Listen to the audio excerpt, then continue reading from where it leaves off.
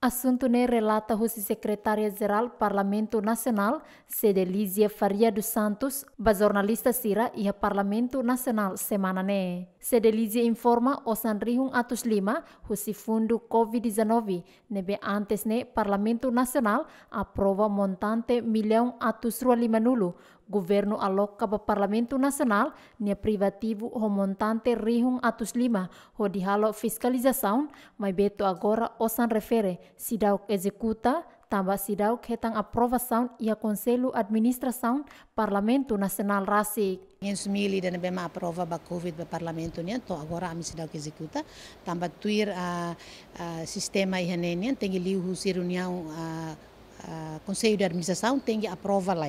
Tem a aprova tema foi bem executa também to agora nunca ia dá o que ia Conselho de Administração, não se dá o que está aprovação, então Parlamento se dá o gasta nem centavos de que o gasta. Dá o que está na aprovação reunião de Conselho de Administração.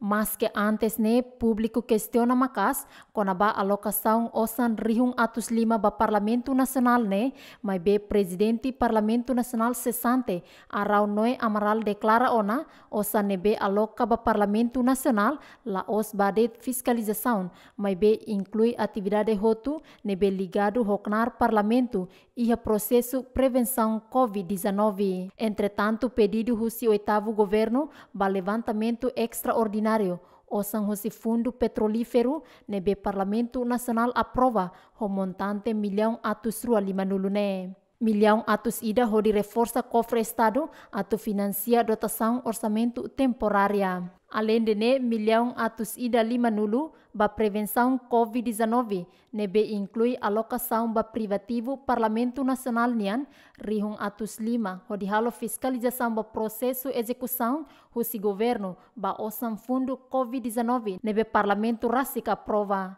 Fátima Pereira Lamberto da Silva, GMN.